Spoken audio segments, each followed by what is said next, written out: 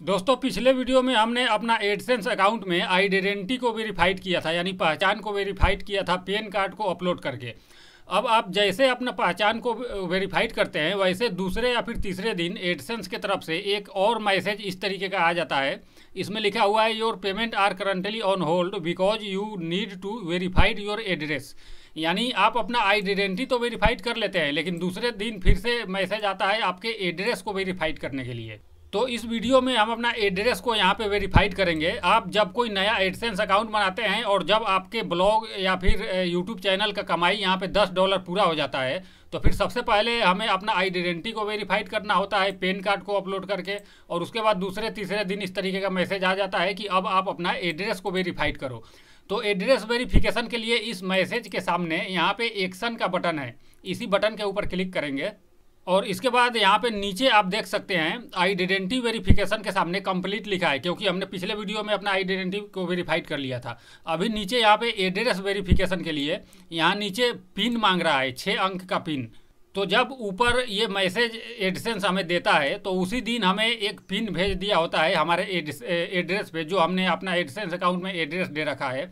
तो उस एड्रेस पे पिन जो आता है, उस पिन को यहाँ पे छः अंक के पिन को टाइप करते हैं और टाइप करने के बाद यहाँ सबमिट के बटन पे क्लिक कर देते हैं तो हमारा एड्रेस भी वेरीफाइड हो जाता है।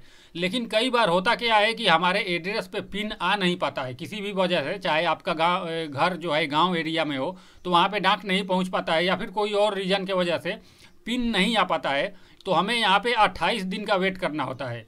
तो क्योंकि एडसेंस ने हमारे एड्रेस पे 20 जनवरी 2022 को ही पिन भेजा था, जो कि ये एक महीना से भी ऊपर हो चुका है और अभी तक हमारे पास पिन नहीं आया है। तो हमें यहाँ पे तीन मौका मिलता है दोबारा से रिसेंट पिन करने के लिए। तो इसके लिए हम क्या करेंगे कि यहाँ रिसेंट पिन के ऊपर क्लिक करेंगे। तो फिर से एडसेंस उसी पिन का एक दूसरा कॉपी हमारे एड्रेस पे भेज देगा। अगर दोबारा में भी नहीं आएगा, हम फिर से एक महीना वेट करेंगे। दोबारा में भी नहीं आएगा तो फिर हमें तीसरा बार यहाँ पे रिसेंट पिन करने का ऑप्शन मिलेगा। और अगर फिर से हम एक महीना वेट करेंगे, और अगर तीसरा बार भी नहीं आएगा पिन तो फिर चौथा महीना में एडसेंस आपको यहाँ पे अपना एड्रेस को वेरीफाइड करने के लिए ऑनलाइन सुविधा दे देगा। यानी कि हमें जो अपना वोटर आईडी कार्ड है, उसको ऑनलाइन अपलोड करने का सुविधा यहाँ पे मिल जाएगा। लेकिन ऑनलाइन एड्रेस वेरिफिकेशन करने का सुविधा तभी मिलता है जब आप तीन महीना तक तीन बार यहाँ पे रिसेंट पिन कर चुके हैं। और अगर तीनों बार में नहीं आ पाया, तभी आपको ऑनलाइन यहाँ पे पेन का वोटर आईडी कार्ड अपलोड करने का ऑप्शन मिलेगा। फिर आप यहाँ पे जैसे अपना वोटर आईडी कार्ड अपलोड करेंगे, वैसे आपका एड्रेस वेरीफाई हो जाएगा। और अगर पिन आ जाता है तो फिर आप पिन यहाँ पे डाल के सबमिट पे क्लिक कर देंगे तो फिर आपको वोटर आईडी कार्ड को अपलोड नहीं करना पड़ेगा। फिर पिन से ही आपका एड्रेस वेरीफाई हो जाएगा। तो फ़िलहाल अभी मेरा एक महीना हो चुका है, पिन नहीं आया है तो मैं अभी रिसेंट पिन करूँगा। अभी रिसेंट पिन मैं दो बार और करूँगा। लेकिन रिसेंट पिन करने के पहले हमें अपना एड्रेस में कुछ बदलाव करना है। हम क्या करेंगे कि अपना एड्रेस में अपना मोबाइल नंबर दे देंगे, ताकि जो डाकिया है, वो अगर आपके घर तक नहीं पहुँच पा रहा है तो फिर वो आपके मोबाइल पे फ़ोन करेगा और फिर आपसे संपर्क कर लेगा। तो एड्रेस में बदलाव करने के लिए इस साइड में एक ऑप्शन है पेमेंट इन्फो इसके ऊपर क्लिक करेंगे।